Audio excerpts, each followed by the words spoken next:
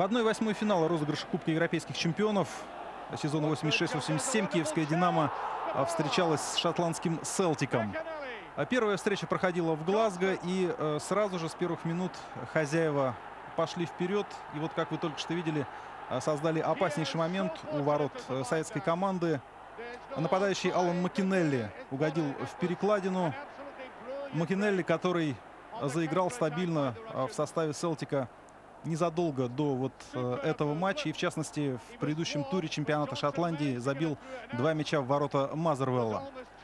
А что касается киевского «Динамо», то Валерий Лобановский выставил такой состав на этот матч. В воротах Виктор Чанов, в поле Владимир Бессонов, Владимир Горилый, Олег Кузнецов, Анатолий Демьяненко, Василий Раз, Павел Яковенко, Андрей Баль, Александр Заваров, Вадим Евтушенко и Игорь Биланов. А состав Селтика. Боннер в воротах, в поле Грант, Бернс, Айткин, Уайт, Маклеод, Маклеер, Макстей, Джонсон, Шеферд и Макинелли. Дэвид Хей тренировал тогда шотландскую команду и в канун этого матча Хей обратился через прессу к болельщикам Селтика с просьбой прийти на стадион и как можно активнее поддерживать команду.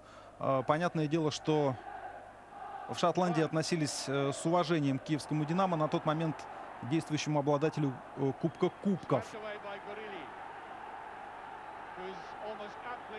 В 1-16 киевляне встречались с болгарским клубом Беруя и прошли его, сыграв ничью 1-1 а, в гостях и победив 2-0 дома. Ну а вот э, с Селтиком также первая встреча проходила на поле соперника. Поле было довольно тяжелым.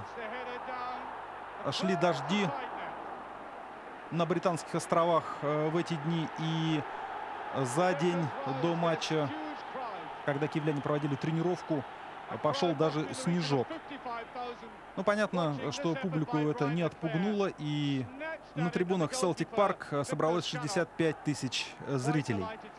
Отразив стартовый натиск шотландцев, киевляне повели свою контр-игру и э, создали несколько неприятных ситуаций в штрафной соперника, неприятных для э, Пэта Боннера.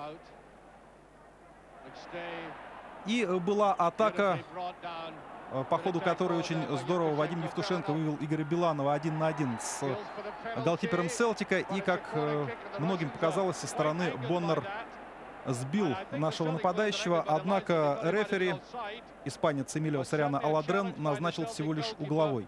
Вот мы с вами еще раз смотрим повтор. И такое ощущение, что пенальти на самом деле стоило назначать. Демьяненко подает угловой. Мяч прилетает на дальнюю штангу, и Вадим Евтушенко посылает его в сетку. Даже удивительно, как Евтушенко остался совершенно без внимания со стороны э, защитников хозяев. И пусть там стояли игроки на штангах, э, Боннер был в воротах, но это не помешало Евтушенко с близкого расстояния отправить мяч в сетку и открыть счет. 1-0 киевское «Динамо» повело. Вот если вы обратите внимание, то Алан Макинелли, нападающий 11 номер, даже не обращал внимания на Евтушенко. По идее, мог поплотнее с ним сыграть. Ну, а э, там уже отразить удар с линии вратарской, конечно, э, шотландцам было очень-очень сложно. 1-0 после первого тайма киевляне вели в счете. И надо сказать, что несмотря на то, что э, Селтик мячом владел чаще и настойчиво атаковал, в частности, используя фланговые проходы и многочисленные навесы, острых ситуаций, по-настоящему голевых ситуаций у ворот Боннера, пожалуй, возникало больше, чем у ворот, которые защищал Виктор Чанов. Это Морис Джонсон был на наших экранах. Девятый номер, любимец местной публики. Игрок сборной Шотландии. Вот он сейчас был близок к успеху.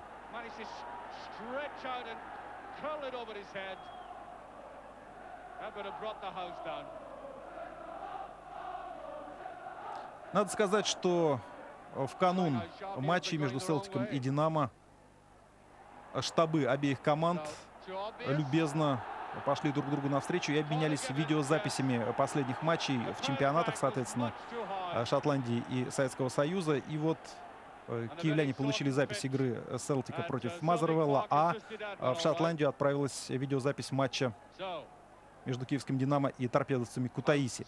Так что определенное представление о том, как те и другие играют, э, имелось. Ну, э, еще раз скажу, киевлян все прекрасно помнили по триумфальному выступлению в розыгрыше Кубка Кубков сезоном ранее. Вот один из э, примеров острой киевской контратаки. Игорь Биланов получает мяч, стремительно отрывается от соперника и бьет э, поворотом, но попадает прямо в Пата Боннера. Пат Боннер легендарный голкипер сборной Ирландии, который долгие годы защищал и ворота Селтика тоже. И вот сейчас он свою команду выручил. Мы видим, что Мордо Маклеод уже не успевал помешать Биланову, и вся надежда была только на вратаря.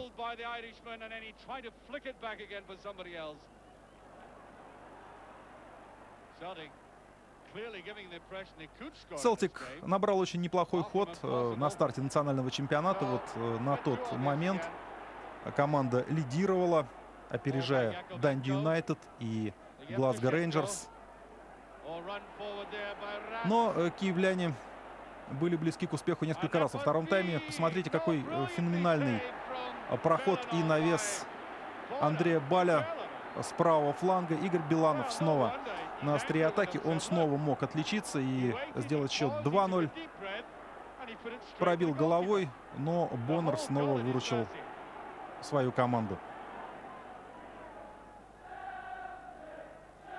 Много было жесткой борьбы в этом матче, но в целом игра была достаточно корректной. Лишь две желтые карточки предъявил испанский арбитр и обе футболистам киевского «Динамо». Олег Кузнецов в первом тайме и Павел Яковенко после перерыва получили предупреждение.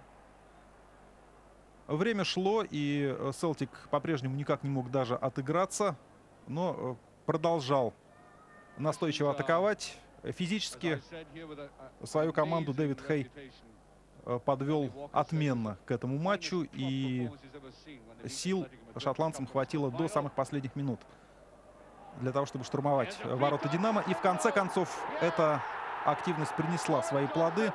Морис Джонсон со второй попытки сумел пробить Виктора Чанова, и счет стал 1-1.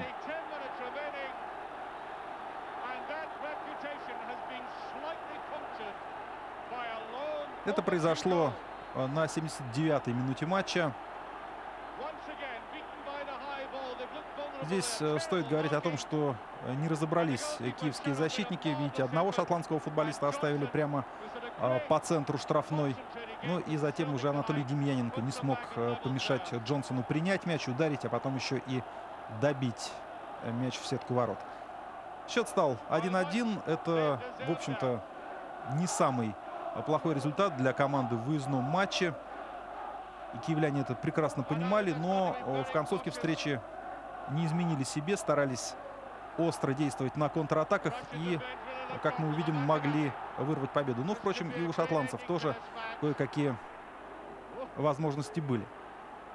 Александр Заваров в центре начинает киевскую атаку, играет на Василия Раца. Рац слева возвращает мяч в штрафную, где уже находится Заваров. И вот э, тот самый момент, буквально за 5 минут до окончания встречи, когда «Динамо» могло забить второй и победный гол. Но Заваров с левой ноги, ударив, не попал в створ ворот. В смысле опасных моментов и таких полумоментов последнее слово осталось все же за шотландцами. В этом эпизоде судья зафиксировал офсайд у Заварова. Ну а э, последнюю острую атаку действительно провел Селтик. Мы с вами это э, чуть позже увидим. У киевлян э, в концовке встречи вышел на замену Алексей Михаличенко вместо Павла Яковенко.